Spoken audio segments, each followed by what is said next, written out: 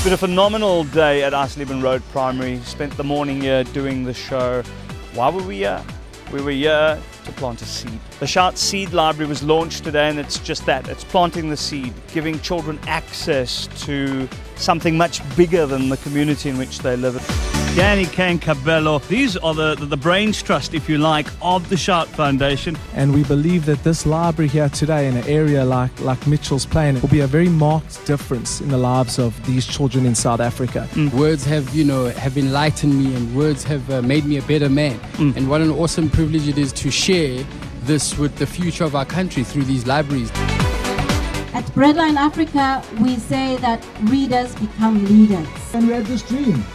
Let's use our ideas to make a difference. So we sat with some architects and we had this idea to create libraries. It was just a dream. And look what's happening behind you. There's a seed that's growing. This is the to swear that I'm going to make.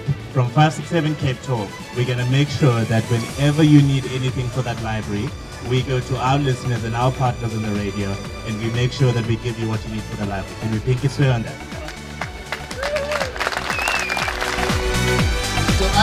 Ask all of the learners to do one thing, to use the library because they're going to check.